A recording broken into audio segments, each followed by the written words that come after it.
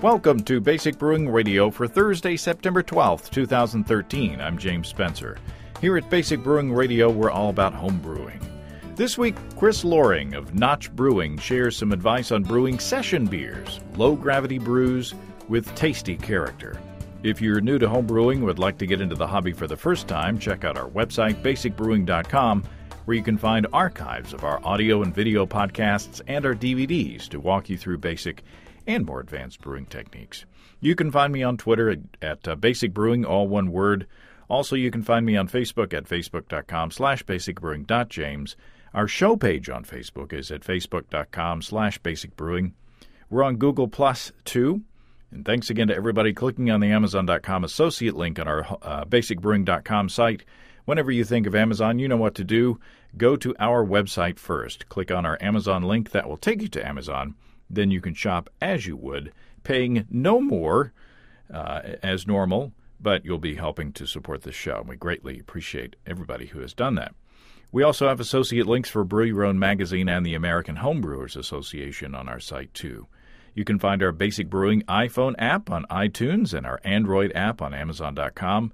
We're on the BlackBerry Podcast Directory, and we're on the Stitcher app, and we're on Windows Phone Directory, too. Check out our brewer's logbook at basicbrewingshop.com. In the front is a blank calendar that you can use to track your fermentations and plan your brews. And there is room in the back to log the details of up to 50 batches of beer. If you want to put a tip in our tip jar, some coinage in our guitar case, you can go to basicbrewing.com slash support. And thanks to everybody who has done so already. Protect your precious beer with one of our growler bags. Check those out at basicbrewingshop.com. I want to thank everybody who wrote in uh, following last week's episode featuring our friend Alan and his story of dealing with the dark side of alcohol. Uh, I was nervous about posting the interview, but the feedback that we received was very positive and lots of it. Uh, most of you who wrote in shared stories of your own or stories of relatives or friends who faced similar situations, and I really appreciate your thoughts, and I also appreciate the honesty that you guys showed. I, have shared those letters with Steve and Alan, and I think Alan can look at those letters in the in the future if he needs some some positive reinforcement. So, thank you so much for being so kind. Um, now, having said that, I'm gonna I'm gonna hurry on to say that we are not going to become the nanny podcast, you know, wagging a finger of judgment at uh, all overindulgences. Uh, we are going to continue to celebrate our hobby and continue to learn about how to brew great beers, large and small, so don't worry about that. Now, having said that, I, I, I want to thank listener Dave, who uh, sent me the link to Lew Bryson's Session Beer Project blog. And I uh, contacted Lew and asked if he wanted to come on the show. He did want to come on the show, but he's got a new job and he, and he couldn't come on because of the conflict uh, with his employer. So, however, he did point me in the direction of, uh, of Chris Lohring, today's guest to talk about how to brew tasty, satisfying session beers that we can put in the mix of uh, what we brew. That'll happen in just a moment. But first, I want to pay an overdue visit to the mailbag to read a couple of letters. It's been a while since we've been there. Uh, we had a question way back, uh, several episodes back, asking about using homegrown hops in beers. And uh, Robert in Mel- Melbourne, Australia, wrote back with uh, what he does. Robert says, I just heard your podcast on the sour mash beer and heard the question about early addition of hops for bittering. Well, I've been doing it for my harvest ale I make for years. In the front yard, I built an arch over the driveway that's quite high, twelve and a half feet. And eh, thanks for thanks for uh, for translating from metric there, uh, Robert. uh, 12 and a half feet and been growing Cascade hops for almost eight years now. And in the last five, I've been brewing every late March an American style ale with only using my fresh picked hops throughout the 60 minute boil. The first time I tried this, I must admit the bitterness was not where I had hoped it would be. I thought 75 grams would be more than plenty, but you live and learn. I now use 110 grams at 60, 80 at 30, 80 at 15, and 90 at flameout and let it sit with the lid on for 20 minutes in an ice bath to chill a bit, uh, and then strain it into my fermenter. This takes a little time, as you will know how much hops it takes when they are freshly picked in a batch. Uh, then chill and pitch. As far as flavor goes, I love it. Uh, to my taste buds, it's still bitter but softer, if that makes sense to you. I hope to hear more on this subject from the podcast from other listeners. So there you go. It takes it might take a couple of batches for you to dial in your uh, homegrown hops, but man, I bet that's a I bet that's a tasty one. Appreciate that, Robert. Uh, here's a note about something free and useful for you Android users out there. Uh, developer Adam Fisher writes, I just wanted to shoot you an FYI on a new release of my Brew Timer app for the Android. First of all, it's a free app and I have no ad revenue from it. Uh, I wrote it because I needed it for my own brewing and thought of uh, and thought other people could use it. It's a labor of love for me. The app is basically a boil timer for brew day. I got so sick of using a kitchen timer because it kept breaking on me and setting the right times, etc. when I had multiple editions was a pain. Adam says a future version will be able to import recipes from exported files or recipe files and the ability to also time mashes. Would love to hear feedback from any and all users at brewtimer at humanjoe.com. So, Android users go to the Google Play Store and search for Brew Timer, two words, published by Human Joe Labs, and send Adam a note to let him know what you think and tell him tell him we sent you. Uh, okay, there we go. Let's get into our chat with Chris Lohring of Notch Brewing. Well, Chris Lohring, welcome to Basic Brewing Radio. Thanks for having me. Glad to be here. Notch Brewing, up there in Massachusetts. Tell tell us, give us some background on on you and on your brewery. Well, I've been a professional brewer since 1993, so I've been at it for a while. I did take a couple of years off. Um, you know, after the uh, the mid '90s kind of doldrums, excuse me, mid mid 2000s doldrums in craft beer. Um, but uh, started brewing um, at a small brew pub in Maine. Uh, then was the co-founder, head brewer, and eventually production manager of um, Tremont Brewery in Boston from '94 to about 2004. Uh, we sold to Shipyard, a competitor, and then uh, that's when I got out of the business for a few years. And then uh, when I started Notch, it was um, really because of when I got back into the brewing industry, I wanted to bring something very different that was going on. And I always loved session beers. I, I apprenticed under two Brits, and so I, have been, uh, you know, probably more than most, kind of um, aware of British beer, uh, session beer, um, from a very early age. And I I always loved to drink session beer. It just wasn't readily available. But for me, it's what I really liked. I knew it was hard to brew. It could have complexity. Um, and I like to drink. I like to have four or five beers. I don't like to have one and go home. Um, so for me, when I got back into it, uh, session beer was the, the, national calling because it wasn't being paid attention to. This is about 2000, 2008. I started to hash the plan for Notch. And um, know, at that time, the direction clearly was going the other way in terms of ABV um, and more intense pl- flavor profiles. So I was told I was insane by most of my friends who you know knew what I was doing, and by other brewers that I knew but I really felt that we were going to swing back to some time, some type of um, equilibrium in terms of what was being offered, and it, it seems to be coming around at that point. At this point, that we see uh, nothing's absolute. I'm, I'm, not against any kind of beer. I love all kinds of beer. I mean, last night I had um, with my wife after this neighborhood meeting we went to. You know, we had some pretty high ABV beers. Um, you know, that was just a moment that I wanted a, a higher alcohol beer. I knew I was going to have one to be done. Um, but um, so when I got back back into it with Notch, it was you know just to have a session beer brand um, and just to offer the consumers something different that was currently being offered, and something I really love to brew and I love the history of it. And beyond British style beers, I've taken a couple trips to the Czech Republic, and I, I, I really had an epiphany there that um, you know, session beer is just not British milds or British bitters. There's a whole range of session beers that we as U.S. brewers have just not paid attention to. Um, and so I really wanted to start exploring those styles and, and, get into it. And so it's been a lot of fun. So I've been at this now for three and a half years. Uh, first year was draft only, and then I introduced bottles about two and a half years ago, and I just introduced cans two weeks ago. So slow, steady growth. This year we've really seen um, uh, you know, much stronger growth. And this year was this this was to me the year of session beer hmm. for a number of reasons. But for, for me, this year really was the year I said, all right, this could be a real company. That this isn't just some kind of you know Don Quixote kind of like uh, effort to like uh, bring something to the consumers that they didn't want. You're forcing these people to buy the stuff, you know, that's good for them. well, yeah, it's just there's always doubters, right? In anything you do, there's going to be someone who chimes up and says that's never going to happen, it's not going to work. And there was a lot of that at the beginning. But the more I think people became in tune with what I was trying to do, I wasn't trying to create something out of nothing. I was basically just bringing recipes and styles and culture to the United States that we haven't seen before, haven't experienced before.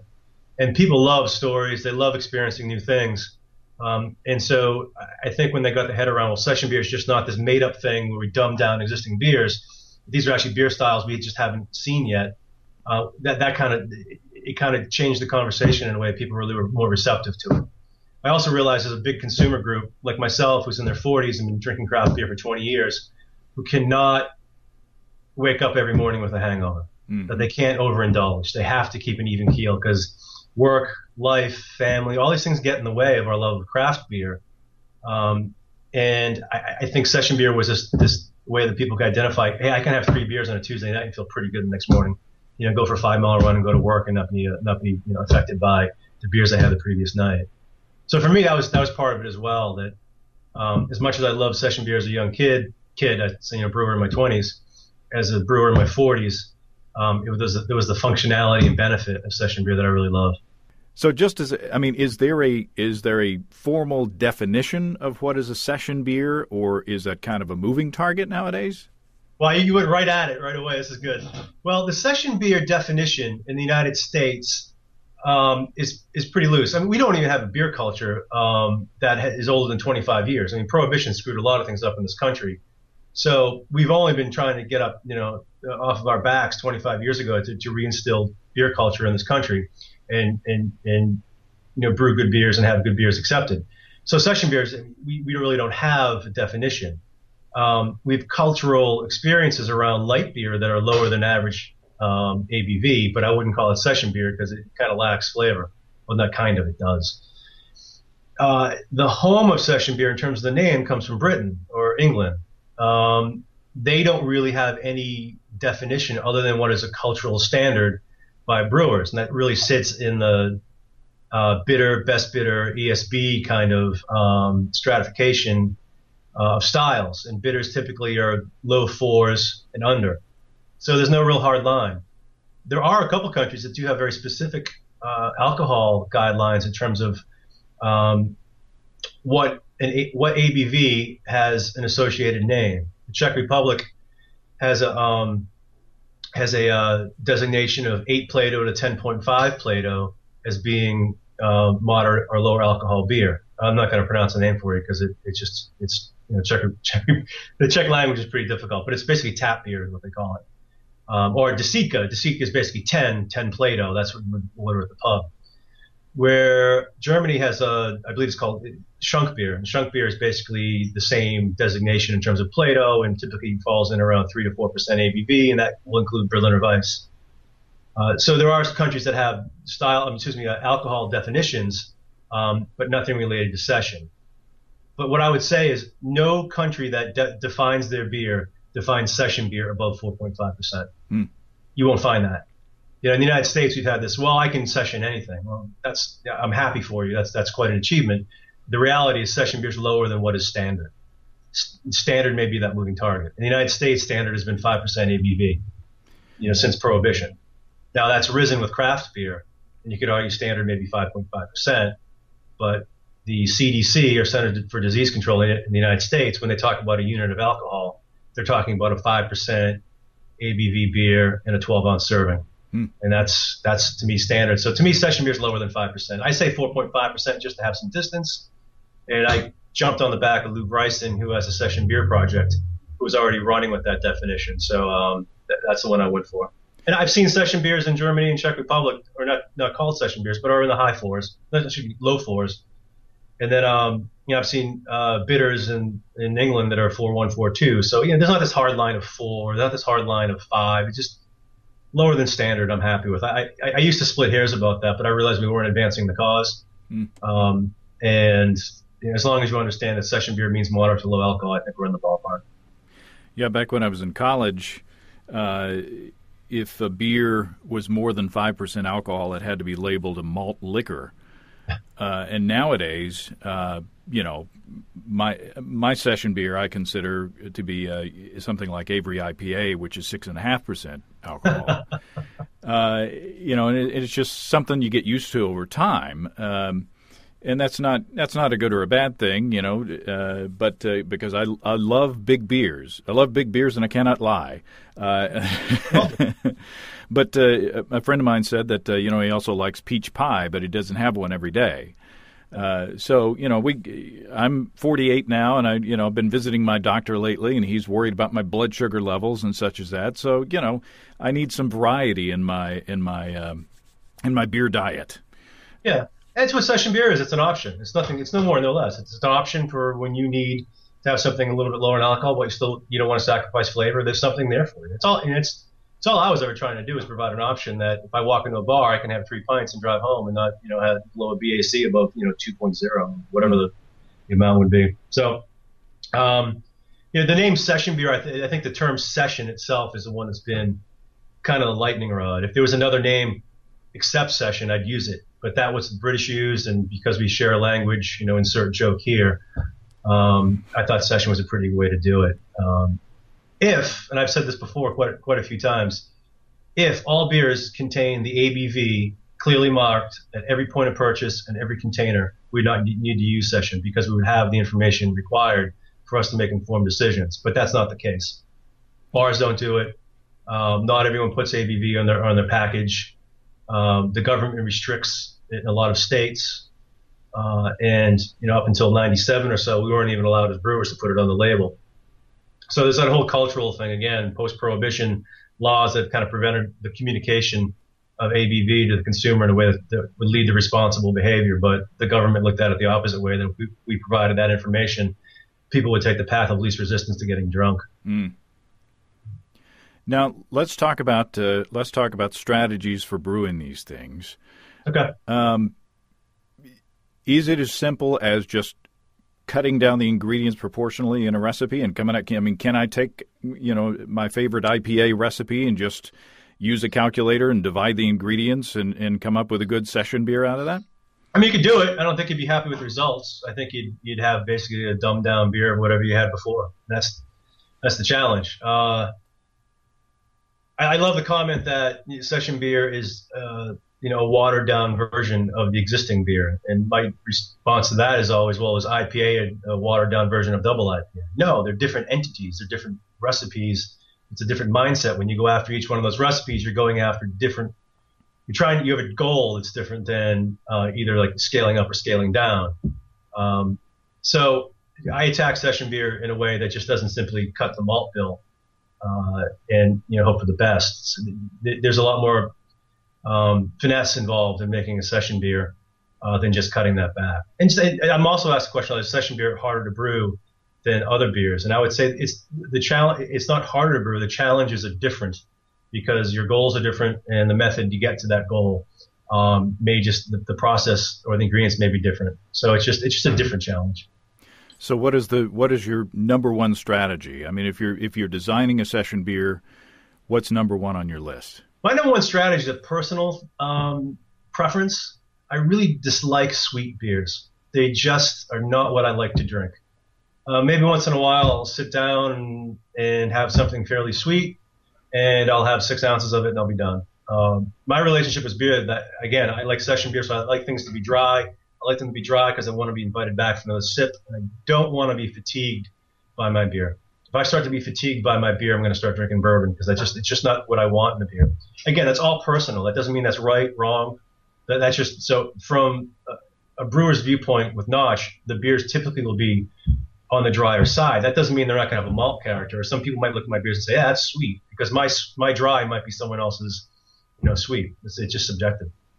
So um, I try to limit um, residual sugars in my beer by uh, my mash schedule and my mash temps.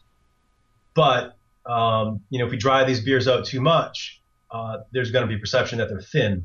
So that's really that's really that that's one you know balance I always fight with is that my mash schedule and mash temps um, and what my um, grain bill is um, how does that res- result in um, a final um, residual sugar or dryness of the beer? So other things start to come into play that we build off of. Water treatment. You know, are we dealing with a, uh, a soft water source? And if we are, how do we want to treat that water to either accentuate uh, bitterness or, or dryness in the beer, possibly with calcium sulfate, or how do we want to increase um, you know, palate fullness, possibly with um, chloride um, additions. So, you know, the water interplays with how that beer is going to finish in terms of uh, dry versus sweet. And then also yeast attenuation and yeast selection is critical. That, you know, some yeast will have a high degree of attenuation. And coupled with maybe with dry, with a hard water um, and a certain um, uh, mash schedule and malt bill, you may have something very, very unpleasant that finishes really dry, really harsh, really bitter, and not not not, not uh, asking you to have another sip. You're gonna you're gonna move on. Uh, and some yeast will have low attenuation and provide a lot of residual sugar that may be really um, appropriate in the style you're going for, but may not be appropriate in other styles. As you can see, you start to build, and I start from that that dry sweet um, equation all the time, and I start to build on all those variables or pay attention to all those variables that will start to impact that balance. And that that's usually my starting point. And also stylistically, what am I what, what am, what's my goal? Am I doing a Pils? Am I doing a, a you know a black lager? Am I doing some kind of low ABV IPA? I mean, what what are we trying to get at? What's the goal? And then I'll start you know all those different variables. Um, and there's a couple other things you know as well. I mean, some of the more minor things, but I think those are some of the larger ones that will impact the overall, at least in my mind, the, the flavor balance that I'm looking for. So one would assume that uh, if you if you want a low gravity beer with a fairly substantial mouthfeel, that uh, uh, crystal malts or specialty grains may enter into it. That would be your first assumption. Uh, I I found that crystal malt is really the devil's malt for session beer. I think crystal malt in high proportions in session beer lend them to being a little bit fatiguing in terms of this crystal malt sweetness. Um, I love British bitters. But I think the reason why we see British bitters with a percentage of crystal malt at a, at a certain level is that a lot of these are being backed up with uh, water rich in calcium or, or hardness. And th- those, again, that balancing act between um, the dryness of that, that uh, you know, finish versus what we have in the, in the, in the malt bill. So I think crystal malt can work, but again, you got to start thinking about these other factors in terms of what your attenuation of yeast is going to be and what your, your water um, makeup is before you really figure out how much that crystal malt may, may play in there. Um, you know, I, have I've experimented a lot with a lot of different crystal malts or cara malts in general. Um, I've had varying degrees of success uh, based upon you know which direction we went to. I find the British crystal, which I love um, in a lot of beers, I found for session beers is very very difficult to use. One would assume that if you're if you're having a beer with a fairly uh, lighter uh, balance, a lighter flavor profile, that in, more interesting base malts would also come into play. That you could you could have more fun with them. Yeah, base malts are, are a big part, I think, of having a successful session beer. And it, this gets into the the um, uh, the value equation people look look at session beer. How come session beer is not less expensive? And the reality is, a lot of my cost of goods are more expensive than if I brewed a beer that was two percent more alcohol because I'm using more expensive ingredients. So that wipes out any cost savings you may have by having slightly more malt.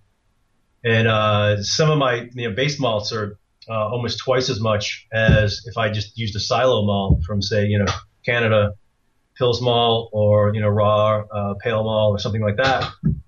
Uh, I use um, I use Fawcett malt uh, Golden Promise in some of my ale recipes, and Golden Promise is just a wonderful malt. I really dig it. I like it a lot. Maris Otter I know is really highly regarded. I I, um, I don't have an aversion to it, but I don't I don't love it. So uh, Fawcett malt uh, Golden Promise I love. It, it's a really great malt to give a little bit of a uh, more character. Um, I think it provides a little bit of perceived sweetness. It definitely is a um, you know a malt character you can't uh, emulate with American malts. And um, I kind of like it. I like it more than Maris Otter. I know Maris Otter is really well regarded, and I think it's a really great malt. I just I, I found Golden Promise to be um, a better performer. Uh, for some of my uh, Czech beers, I make a lot of Czech lagers. I'll use Weyermann quite a bit, um, either uh, Munich or Vienna, and I, oftentimes I'll use either either one as the base malt, like no Pils malt at all. Um, I brew a Czech black lager in the wintertime. It's a four percent a four percent uh, lager. That is uh, all uh, well. It's a combination of Vienna uh, and Munich as the base malt hmm. Uh, environment. It's you know that's not cheap. That's pretty expensive. Uh, and then um, I do a Czech. it's called Polotmavy, and Polotmavy is a is an amber amber Czech lager, and that has all Vienna malt as well. So you know I could use Pils, but I kind of like the way those base malts set themselves up uh, for flavor. So yeah, I think the base malt is something definitely take a look at. And from the homebrew level, I mean, it's, it's not a lot of money to, to step up to those malts. I mean, it's really you know, almost insignificant. Um, and then, uh, but yeah, I do play around with uh, specialty malts as well, like you talked about. It's uh, we are in a, a, world right now where the brewer it just has so many options in terms of the different malts that they can use, and not only barley, but in terms of rye and wheat and um, you know spelt or any other kind of what we would call an adjunct, but any other kind of grain that you can put in. And that that's been really rewarding for me as well. Is that we have a local maltster here in um, in Massachusetts, Valley Malt, and so we've been able to work with them in terms of getting some specialty malts and specialty grains that otherwise wouldn't have uh, wouldn't have access to. And that's been a lot of fun to experiment with. Uh, yeah, and did I answer your question on the base malt? I'm, gonna, I'm going off on a tangent here specialty malts a little bit now. Yeah, I think, uh, in fact, uh, you, you mentioned adjuncts. You've got a beer uh, named, uh, is it the Mule? The Mule, yeah. That has a lot of corn in it or has corn in it. And uh, I, I, noticed that you had a blog post up on your website where you kind of uh, got on your soapbox defending your choice of uh, corn. Did you get some flack uh, from craft beer lovers on that?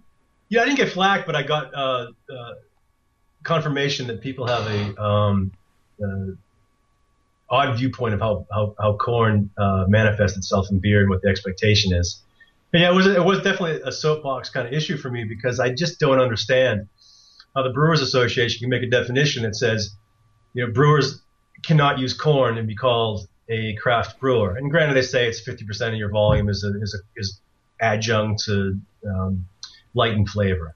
But as brewers, we are um, celebrated for using every ingredient under the sun except corn and rice. You can't use that. That's bad. And I, I just find that's just short-sighted. That, that's a very 90s kind of construct. That's a very 90s kind of viewpoint, or even 80s viewpoint of what the differences between craft beer and, and, and industrial lager. And I think that just needs to go away. So I've been brewing with corn since the get-go. When, when I was in the brew pub in 93, this is an era where we were trying to teach people what craft beer was about. And this is, this was a 20 year shift in mindset that we've gone through. And initially, brew pubs had to offer this really light beer that they were serving because they didn't have a license to have Bud Miller Coors. They had to make their own light beer, and so I started started uh, brewing a lot of light light ales that had cornflake, and so I got got a really good understanding of how corn has a what that impact has on the beer. What I've come to realize is that corn in of itself isn't isn't evil, or it, it doesn't make beer bland. The recipes make make the beer bland. Corn can actually add you know a great deal of um, of uh, character to the beer. So I wanted to do a light lager that was 4.2%, which mimics the ABV of all industrial light lagers, but sure that you can have a beer with flavor and use corn. So I used an heirloom or heritage corn variety from Western Mass. We used that in the form of grits and had to do a cereal mash. And then I used, I used a couple of um, uh, U.S. what I call lager hops, but hops of you know lager heritage, uh, Crystal and Sterling, which I love, that um, have a little bit more uh, fruit and citrus and, and lemon in the aroma than a traditional lager hop. Uh, and that played off really well against the corn. Corn has this perceived sweetness up front, but it really dries the beer out in the finish. And I think that really sets itself up for that kind of delicate hop to come through. So I was really happy with the beer, and people's reception was really strong. I think it just shows that um, you can think outside the box in terms of what um, what malts or grains you can use to add add flavor. Um, yeah, I use a lot of, of specialty malts that people would only use in a, um, in a, a you know oatmeal stout or something like that. But I've been able to translate some of that into lighter lighter beers and, and have you know, similar results in terms of the perception of mouthfeel and whatnot. So, um, yeah, so there's it, the more experiment, the more iterations you go through, the more you find out that there's a lot of a lot of myths out there about certain ingredients being um, you know, only good for one thing, and the reality is that they may be good for multiple things. Yeah, I guess no well, there may be some evil ingredients out there, but it, uh, I tend to think that no no ingredient by itself is evil. It's uh, it's it's how you use it or how you potentially use it. Right. Uh, right. And it, it, would seem to me that, that with a, a lower gravity beer, uh, are there pitfalls? I mean, do you get do you start to get into uh, possibly pulling out some astringencies from the mash, or, or are there are there some rookie mistakes that uh, someone who's not used to working with a lower gravity beer can fall into? Yeah, I mean pH control is a really important one. If you're a home brewer and doing a full uh, uh an uh, all grain um, beer, um, you want to pay attention. If you don't have a pH meter, an easy way to do it is to pay attention to your last running's gravity. You know, typically anything below 10.8 or, or 8 uh, excuse me, a 10.8 or 2 Plato, you're going to start to see a real uh, rise in pH, and you're going to start bringing out a lot of tannins uh, in those last runnings into your uh, into your wort, and that's going to lead to astringency. So you really want to pay attention there. Um, a lot of um, a lot of brewers brewing any kinds of any type any type of beer will pay attention to that, and we often um, liquor down uh, to get a, a, full kettle. So we'll stop runoff. Say we have a you know 100 barrel um, kettle, and we're bringing over 90, um, 90 barrels of wort. But those last 10 barrels are going to be filled with high pH, uh, tannin-rich wort. We're going to shut that down and liquor down um, to get 100 barrels. But we've basically set the recipe up so that we know that we're going to be liquoring down. So we have a higher gravity wort than we need. Liquor down, uh, obtain the um, the target gravity that the pre-boil target gravity that we want, and go from there. So know, little things like that you need to pay attention to. I mean, these beers are delicate. You know, not, it's not about intensity of flavor; it's about complexity of flavor. And so, because they are delicate, uh, some of these faults um, that may not uh, be able to be uh, recognized in higher ABV beers will be recognized in uh, in session beers. Yeah, just to, just to clarify, when you say liquor down, you mean uh, just simply diluting with water in the in the brew pot. Yeah. So it's better to rather than run that water through the grain that's in the in the mash tun that's probably going to start pulling some tannins and, and astringencies off. Stop right. that. Uh, set up your recipe so that you collect higher gravity in the beginning and and and dilute it in the kettle. It's right. it's makes perfect sense. Yeah, yeah. So it's a, it's a nice little nice little uh, tool to use. And again, if you don't have a pH meter, you can just I would check the gravity, and the gravity typically um, you know, two Plato or, or uh, you know, 10, 1008 is typically where you, are starting to see a real spike. You're getting above 5.8 pH, which is really the the limit of what you want to be bringing into your brew kettle in terms of the pH of the, the last runnings. So, uh, help us help us uh, design a recipe here. I mean, if if you've got someone uh, who's the first time thinking about a session beer, they like hoppy IPAs. Um, you know, just just throw out a recipe on the fly there. What what, what would you start with on the on the homebrew level? I mean, what is there a is there a kind of base recipe that you that you start off of? I think a really easy thing to do would be take a look at maybe an IPA that you've brewed and start breaking down the components of the beer and say, all right, so we're, we have a say a six percent IPA and we want to make a four percent IPA. Um, so take a look at your base malt and if your base malt is a you know generic two row, um, substitute that for a really good British two row, um, or uh, you know even a German two row, or you know maybe augment that with a little more, say Vienna or Munich, um, just to add you know a little bit of complexity to that malt bill. Um, if that malt bill is pretty straightforward, you may, want to look at a little, a couple little things just to add some perceived mouthfeel. Um, you might take a look at maybe oats or flaked barley or carapils or one of those that may, you know, add a little bit of mouthfeel. Take a look at your mash temperatures. If you know you bring an IPA of six to seven percent, you may be mashing in anywhere between 148 and 152 or somewhere, unless you're making a really sweet IPA. You know, you might want to you might want to adjust that, take it a couple degrees up, just to get a little bit more residual sugar take a look at your yeast strain. If you're using, um, you know, Chico or you know one of the American yeast strains and having high degree of attenuation, you might want to think about changing that um, to a, a, yeast with less attenuation, maybe something like a um, you know British yeast um, that you know the attenuation level is not quite as uh, quite as high.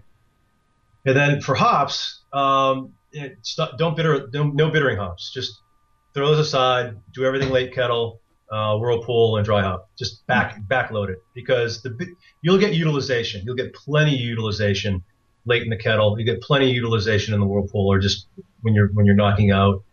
And um, you know, dry hop as you would normally. Um, you know, don't be afraid to dry hop at levels you would do for a higher alcohol uh, IPA.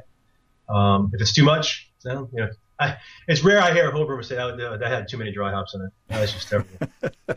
so I have fun with it. You know, I have. I mean, if, if you if you go overboard a little bit, you know, dry hop is probably not a bad place to do it. That's why I say get rid of the bittering hops because you don't need a lot of bittering charge. You're going to get you know a fair amount of utilization at the end of the at the end of the um, boil, and you don't need a lot of bitterness um, in a session beer uh, because you're gonna you're gonna achieve that bitterness balance um, to malt balance, you know, pretty quickly. Um, water treatment, if you want to get into that, you know, calcium chloride if you want a little more perceived palate fullness, or calcium sulfate if you want to dry the beer out a little bit. So just look at all your components and just um, you know take a look at substitutions um, and modifications that will you know, try to offset that reduction in, in malt sugar um, at the start of start of fermentation. Do you think it'd be uh, I don't know how much experience you have with extracts and homebrewing with extracts, but do you think it would it could conceivably be conceivably be easier to design an extract low gravity recipe?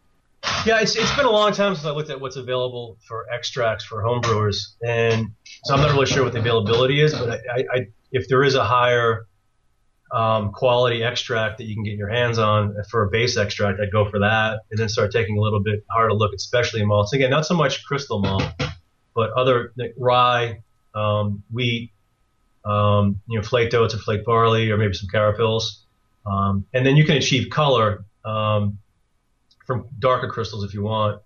And then, you know, again, depending what the recipe you're, you're trying to achieve or the recipe you're, you're going after, you know, that may, may dictate that. I mean, I, I don't want, I don't want to say back away from, from crystal malts altogether. Uh, my Chern, my Černé Pivo, which is a Czech black lager, I use a fair bit of what's called Cara Bohemian, which is basically a crystal malt. It just has a, has a fun name.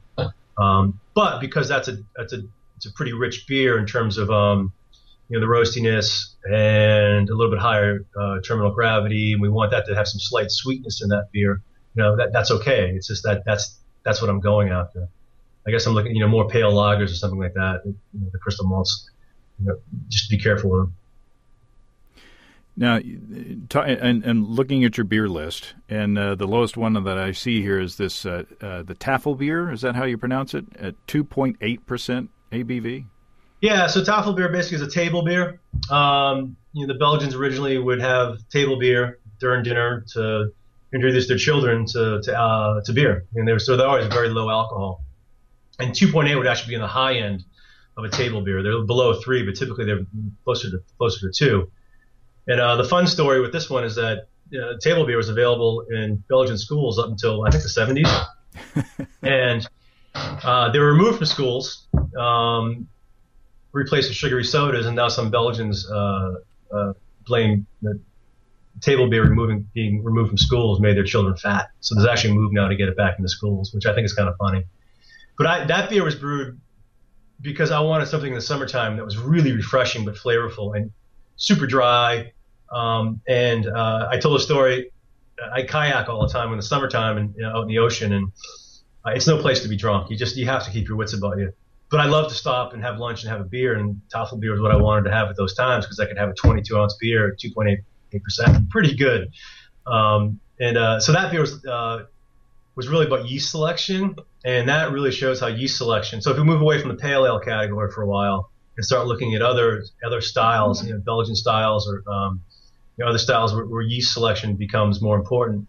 Um, yeah, that that was a uh, a Belgian yeast that provided a, a great deal of attenuation. So that beer was super dry to the point where people thought it was a sour beer because the tartness was so impressive.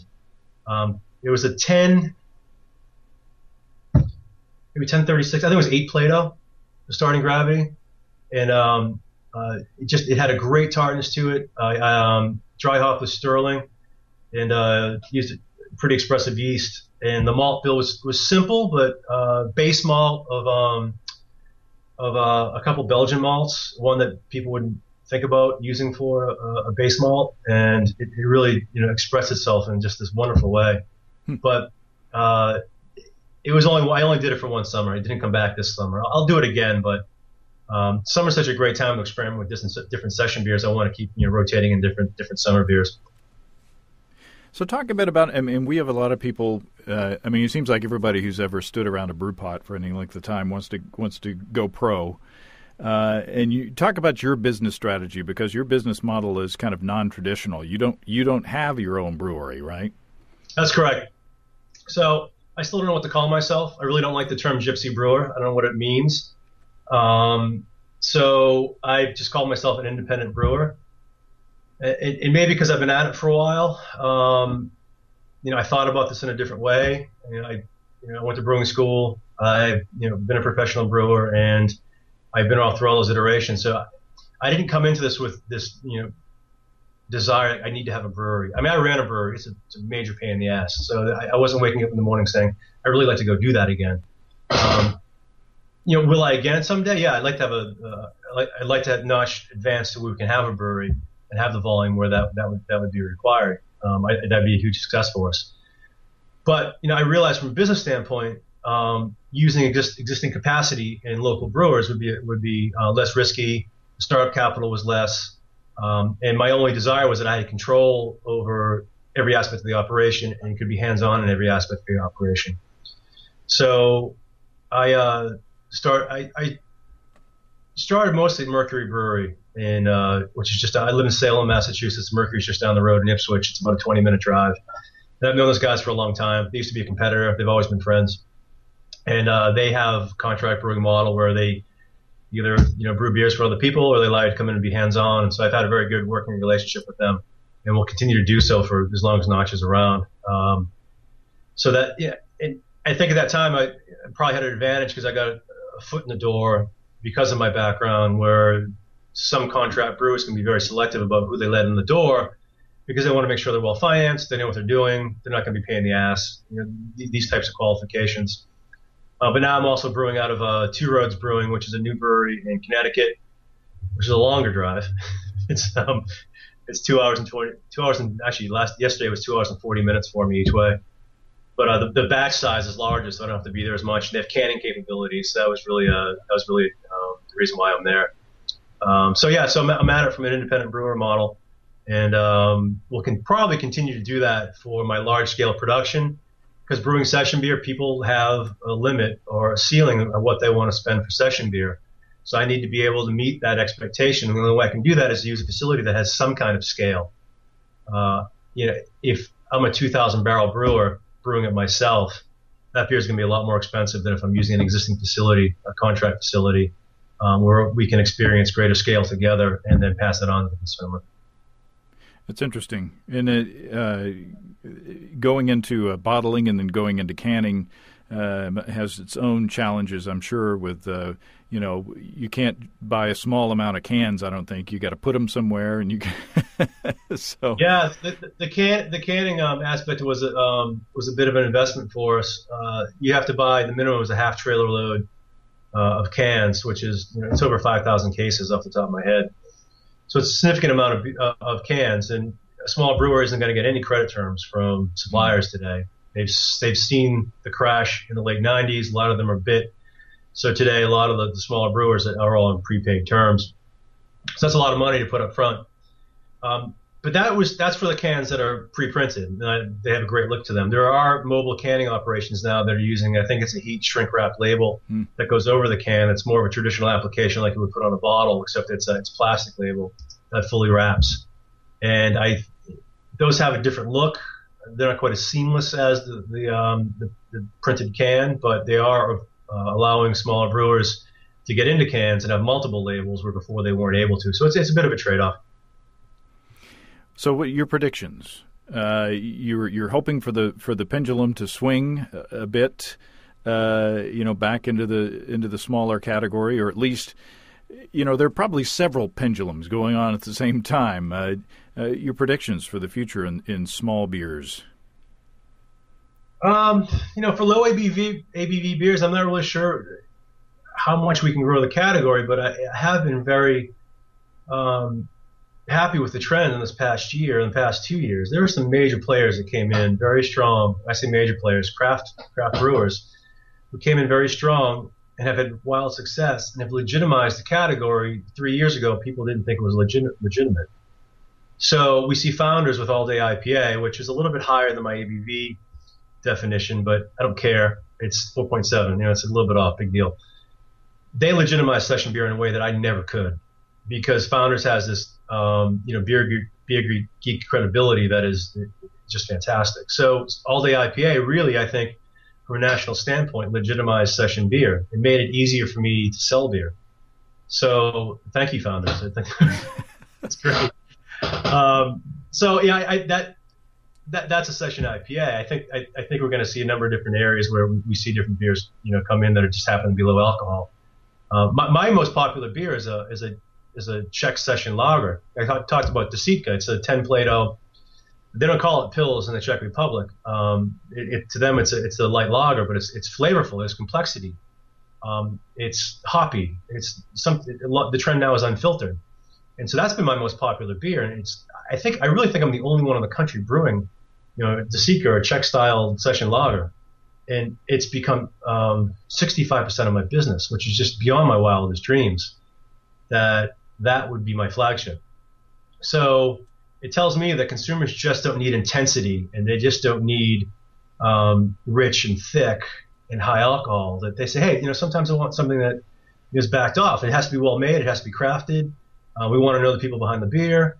We have to trust them, and it has to taste good. So it, that's what's great about craft beer. Craft beer has been about educating people about options, and I think as long as we keep educating people about all the options, we'll see the growth in, in, in small beers.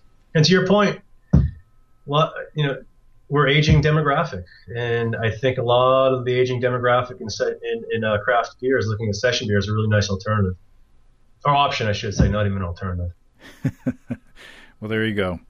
I appreciate your uh, your taking time, and I wish you the best of luck. Thanks, Chris. Well, yeah, thanks for having me. I really appreciate it. Anytime we can uh, spread the word on session beer, it's a good opportunity. Thanks again to Chris. I'm doing some experimenting with session beers myself, and I hope to put the uh, tips that Chris passed uh, onto us to uh, good use. I, I, I, do love having beers on tap here at the house, but it's kind of like having ice cream sandwiches in the freezer. Uh, if they're in there, I'm going to eat them. And if I have high gravity beer on tap, I'm, I'm going to drink it. Um, my plan is to have some tasty session beers on tap, you know, that are easily accessible, and then and then some some tasty higher gravity beers in bottles in the basement that I can chill, you know, maybe one or two at a time to balance things out a bit. Appreciate Lew Bryson uh, setting us uh, in the direction of Chris and uh, listener Dave for setting us in the direction of Lew Bryson. So there you go. I greatly appreciate all the all the emails I get from everybody. Uh, they often lead to shows. Um, if you have brewing questions, show suggestions, or just want to say howdy, write to james at basicbrewing.com or just fill out the contact form on basicbrewing.com. And please don't forget to tell us where you're from. Our Basic Brewing growler bags are available in our shop. Protect your precious homebrew and craft beers. You take it from place to place. Check out our support link where you can throw a couple bucks into the tip jar by subscribing financially to our podcasts. We greatly appreciate you doing that. Uh, be sure to check out our DVDs Extract Brewing and Partial Mashing, Stepping into All Grain, Low Tech Lagering and Decoction Mashing, and Introduction to Wine Kits. You can find them all on our site. We've got combo deals to save you a few bucks if you want to buy more than one DVD at a time, and you can check out our basic brewing shirts in the store too. Our brewers' logbooks are in the store as well. Keep track of up to 50 batches of beer. You can see a listing of the fine folks across the country who sell our DVDs on basicbrewing.com. And if there isn't a vendor in your area, you can order them online in our online shop at basicbrewingshop.com. Thanks to everybody who's continued to click on our Amazon.com link. We greatly appreciate the support there. Our featured products this week that were purchased through the link are Seagate Cheetah 15K 7 600 gigabyte 15,000 RPM SAS 6 big gigabytes per second 16 megabyte cache 3.5 inch internal bare drive. That's a mouthful, and there were there were ten of those. So, thanks a lot. And uh, watermelon extract, four ounces. Mmm, I bet there's a watermelon wheat beer in somebody's future. Thanks again, everybody. And remember, I can't tell who bought what, so no worries there. Just click on the Amazon.com logo on our site the next time you feel like Amazon shopping. We greatly appreciate your support. Don't forget you can also join the American Homebrewers Association and subscribe to Brew Your Own magazine through the associate links on basicbrewing.com. That's all until next time. Until then, thanks for listening, everybody. I'm James Spencer. Production help for Basic Brewing Radio and our website is provided by our buddy Kelly Dotson. Basic Brewing Radio is a production of Active Voicing. Talk to you next time, everybody. So long.